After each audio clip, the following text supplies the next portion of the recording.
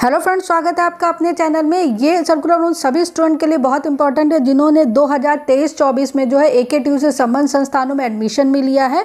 तो इस सर्कुलर में उनके जो एग्जामिनेशन फॉर्म फ़ीस और इनरोलमेंट संबंधी सूचना है, चूँकि ए का जो नया अकेडमिक कैलेंडर आया था, उसके हिसाब से जो इनरोलमेंट थी, उसकी आखिरी डेट जो है वो तीस नवंबर की थी। तो कई स्टूडेंट कमेंट सेक्शन में मैंशन कर रहे थे कि तीस तो डेट निकल गई, अभी तक उन्होंने फ़ीस नहीं दी या फ़िज़िकल रिपोर्टिंग नहीं की। तो ए ने इस डेट को बढ़ा दिया है स्क्रीन पर आप देख रहे हैं।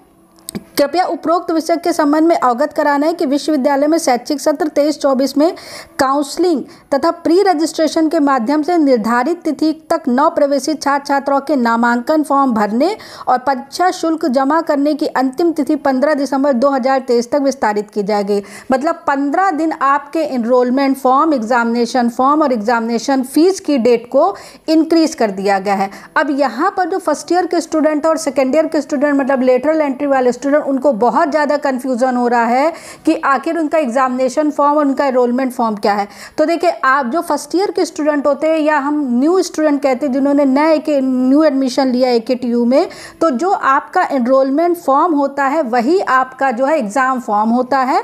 और इनरोलमेंट फॉर्म के समय जो कॉलेज आपसे फ़ीस लेता है, वही आपकी एग्ज़ामिनेशन फ़ीस होगी। आपको अब कोई एग्ज़ामिनेशन फ़ीस जो है वो नहीं देनी है। आपकी एग्ज़ामिनेशन फ़ीस जो है वो अभी ऑफलाइन होगी। होगी और आपका जो एग्ज़ाम फॉर्म होगा वो भी ऑफलाइन होगा। जब आप सेकेंड ईयर में आएँगे नेक्स्ट सेशन में होंगे, तब आपका जो एग्ज़ाम फॉर्म है वो ऑनलाइन जो है वो फिल किया जाएगा। तो ये सारी रिस्पॉन्सिबिलिटी जो है वो कॉलेज में होगी।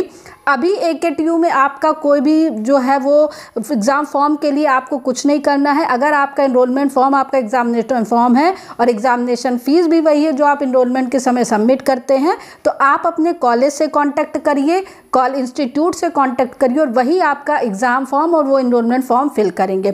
तो पंद्रह दिन इस डेट को और इंक्रीज़ कर दिया गया है। फ़र्स्ट ईयर के स्टूडेंट और न्यू एडमिटेड स्टूडेंट है, वो फ़ेज़ टू में आते हैं।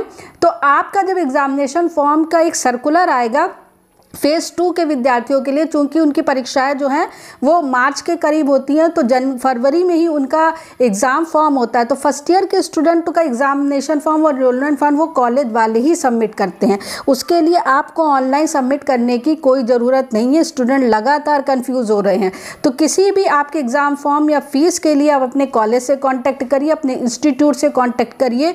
ए की वेबसाइट पर आपका भी कोई भी जो है, उस पर जाने की आपको ज़रूरत नहीं है। और अगर कोई regarding exam form fees newly admitted कोई प्रॉब्लम हो तो आप कमेंट सेक्शन पर मैंशन कर सकते हैं। तो पंद्रह दिन जो है, वो न्यू एडमिटेड स्टूडेंट की एग्ज़ाम फॉर्म और या इनरोलमेंट फॉर्म या एग्ज़ाम फ़ीस की तिथि को बढ़ाया गया है। तो this is the latest update for more update keep watching subscribe the channel press bell icon and join Telegram channel thank you very much